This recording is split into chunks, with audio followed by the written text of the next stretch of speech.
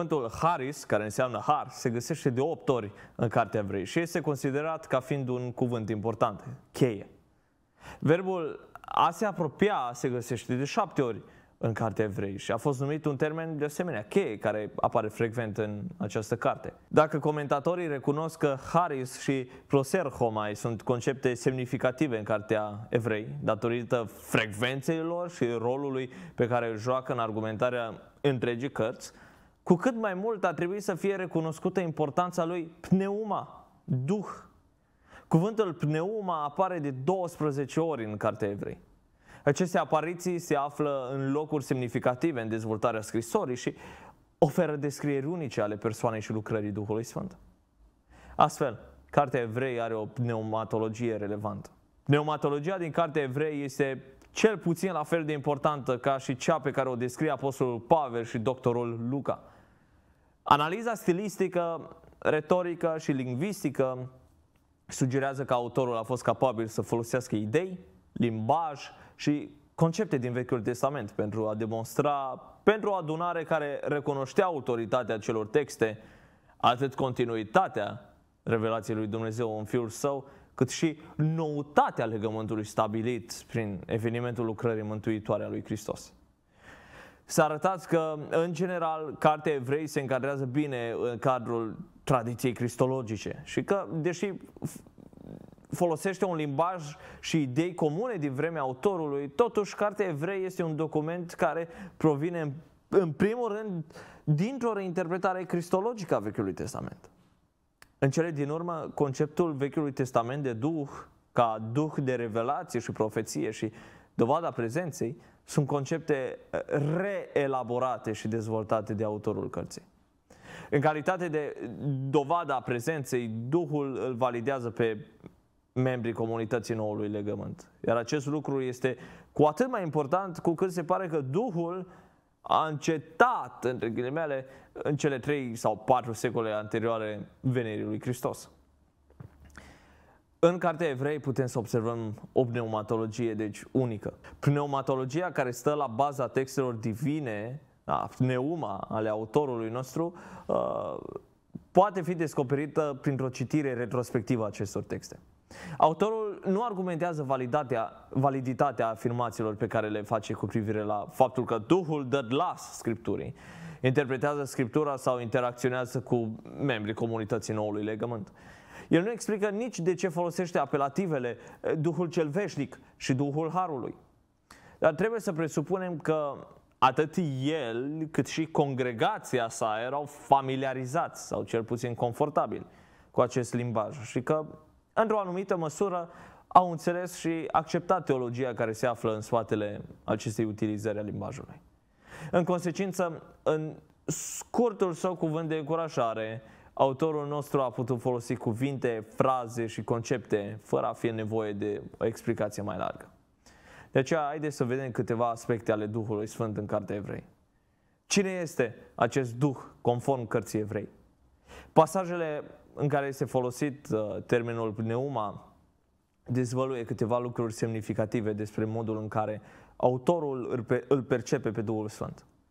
O mare parte din aceste lucruri nu sunt unice pentru carte evrei.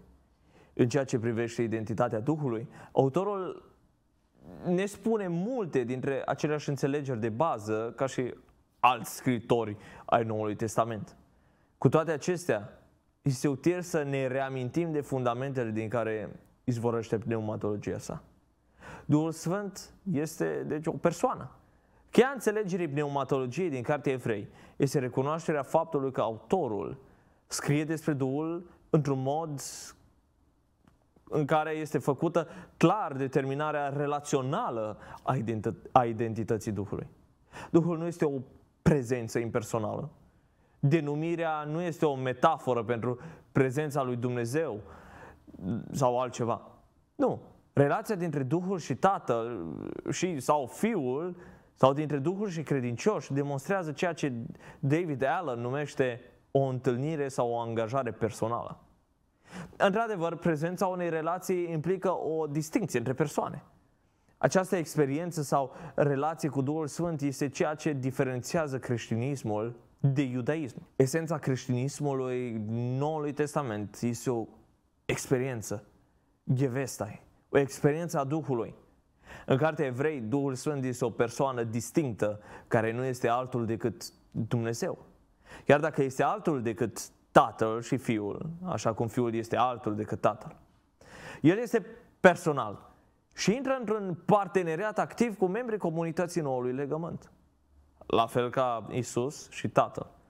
Alte indicii ale individualității sau ale personalității sunt faptul că vorbește, mărturisește și învață, revelă.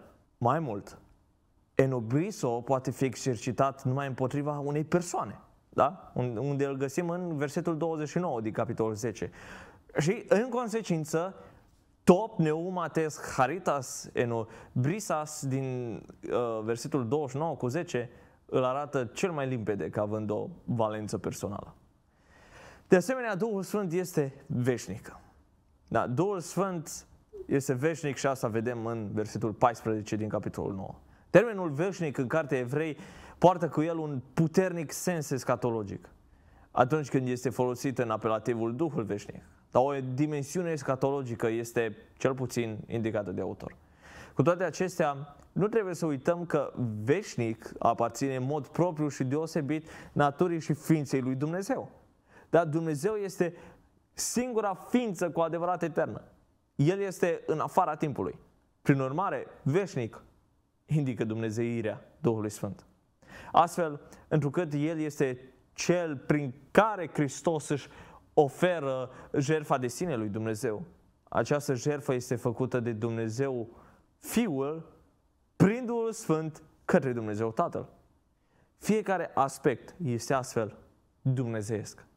Odată pentru totdeauna și veșnic semnificativ. Mântuirea veșnică, judecata, răscumpărarea, moștenirea și legământul sunt numite astfel pentru că sunt beneficii scatologice pe care Dumnezeul etern și trinitar le acordă prin această lucrare de mântuire în care este angrenată întreaga Trinitate. Este o jertfă veșnică care se face odată și pentru totdeauna. Dar un eveniment veșnic, deoarece este investit cu calitate și eficacitatea propriei vieți veșnice a lui Dumnezeu. În consecință, Duhul Sfânt este mult mai mult decât puterea viacului ce va veni, care pătrunde în acest veac. El este viața adevărată a lui Dumnezeu, care aduce această viață în această epocă și interacționează cu Fiul pentru a răspunde cerințelor Tatălui și nevoilor membrilor comunității noului legământ. Pe lângă faptul că dezvăluie Dumnezeirea uh, Duhului Sfânt prin denumirea de Duh Veșnic, autorul oferă și alte indicații în acest sens. Nu în ultimul rând, prin vocea Duhului în Scriptură. Cartea Evrei începe prin a afirma că Dumnezeu este un Dumnezeu care vorbește. El vorbește prin profeți, vorbește în Fiul și vorbește prin Scriptură comunității răscumpărate. Cu toate acestea, autorul afirmă de asemenea că Duhul Sfânt vorbește prin Scriptură urmașilor lui Hristos, în așa fel încât indică faptul că el, autorul, crede că Dumnezeu și Duhul Sfânt sunt același vorbitor. Duhul Sfânt își însușește Scriptura pe care Dumnezeu a rostit-o către această adunare și o repetă, o prescurtează și o extinde ca propria sa voce către aceeași adunare. Citarea din Ieremia, capitolul 31, este introdusă în capitolul 10 prin cuvintele Lucrul acesta ne-l adeverește și Duhul Sfânt, căci după ce a zis, ea este apoi prescurtat, dar se încheie și nu voi mai aduce aminte de păcatele lor, nici de fără de legile lor. Întărim promisiunea lui Dumnezeu astfel. El aplică apoi citatul la adunare, acționând ca hermeneut. În lumina sacrificiului Fiului, Duhul Sfânt intensifică relevanța și extinde sensul pentru a vorbi direct cu comunității credincioșilor. Singurul care poate lua în stăpânire cuvântul lui Dumnezeu și în același timp să-l actualizeze și să-l uh, reinterpreteze este Dumnezeu însuși. Când autorul nostru scrie că acesta este modul în care Duhul Sfânt poate funcționa în mod legitim, el afirmă în mod clar că Duhul este Dumnezeu. Bun, dar ce face Duhul Sfânt? Duhul Sfânt declară că vechiul legământ este intrinsec defect sau incomplet și arată spre nevoia unui nou legământ, unul al Harului. El a fost implicat în moartea lui Hristos, care a câștigat Harul.